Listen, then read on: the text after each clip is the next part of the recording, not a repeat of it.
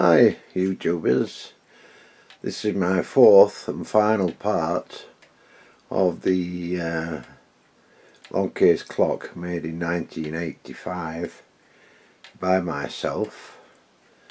For the last two or three weeks it's been on test since I've had it completely stripped down and just making final small adjustments as the time's gone on. Now when I first made this clock in 1985, it was the first one I'd ever made. I started out really as a sort of a, a model engineer and I, I, just thought one day I'd, I'd like to do something quite different. So I started to hunt around for clock designs and stuff like that and I came across this guy called uh, Alan Timmins in the uh, in the model engineer and um, I decided to have a go. I was a bit uh, trepidatious about it to start with because although I'd always sort of had a fascination for clock uh, clocks. I'd never really given it any thought about making one. But anyway, I set to, and it took about 18 months uh, of uh, spare time work. But instead of following the, the complete uh, design, which is a 1790 design, um, I made small various changes because I didn't have the full uh, equipment that uh, you know um, a proper clockmaker would have like cutters and various bits and pieces like that. So with being used to model engineering I was sort of working uh, to very fine limits. Uh, I thought, well, I shouldn't have no problem making a clock. In fact, uh, when I'd finished it, it was so fine and everything so close fitting, it just wouldn't work at all.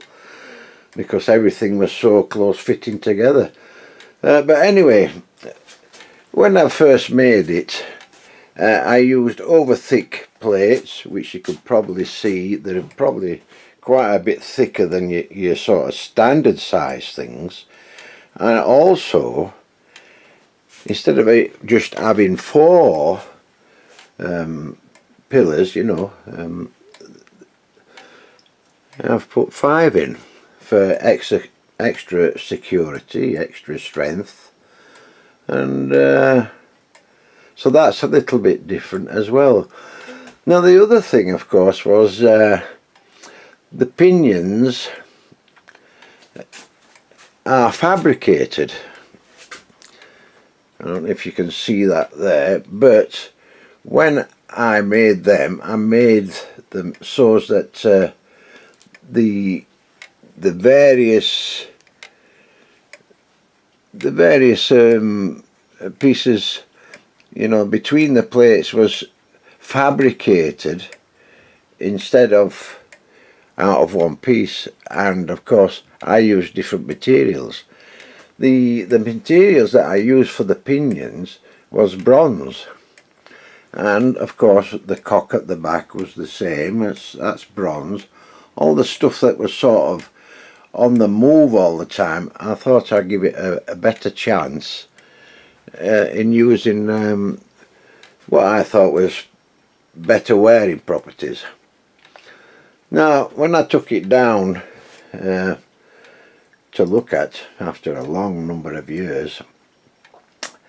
Uh, the strike had stopped working after about six or seven years and I found the reason was that one of the pins which I uh, which I spoke about in the last uh, episode uh, had jammed in, into one of the pinions so that's what had caused that uh, so once that was removed uh, it was virtually really just as it was when I first made it Uh, on examining it for wear, uh, I found there was virtually no wear at all, except slight, slight, and I'm talking slight, um, wear on the on the actual um, pallets.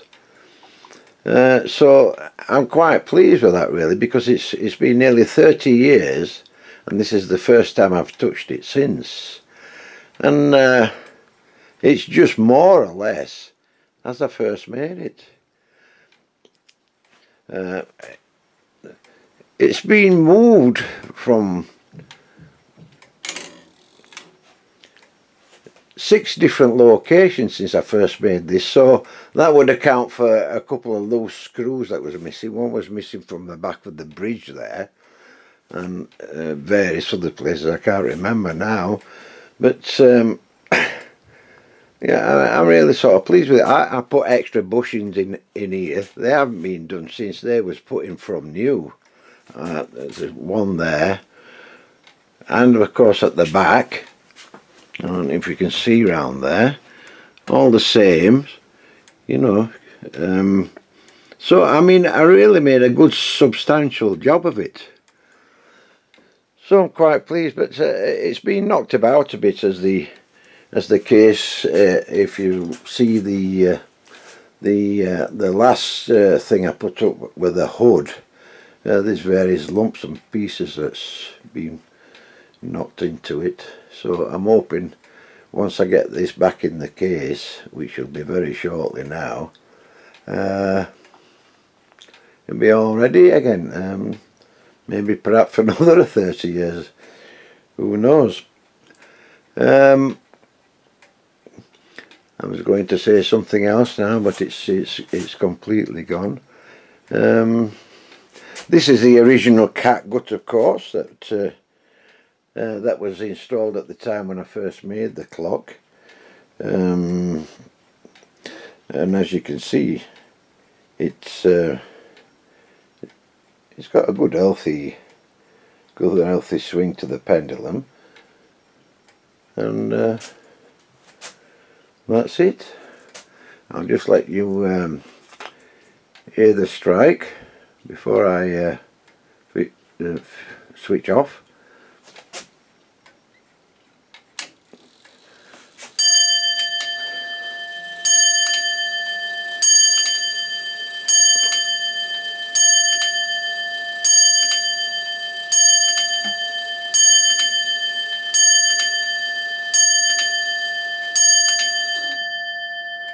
So there you go, there you have it, 11 o'clock. And that is the time, actual time now.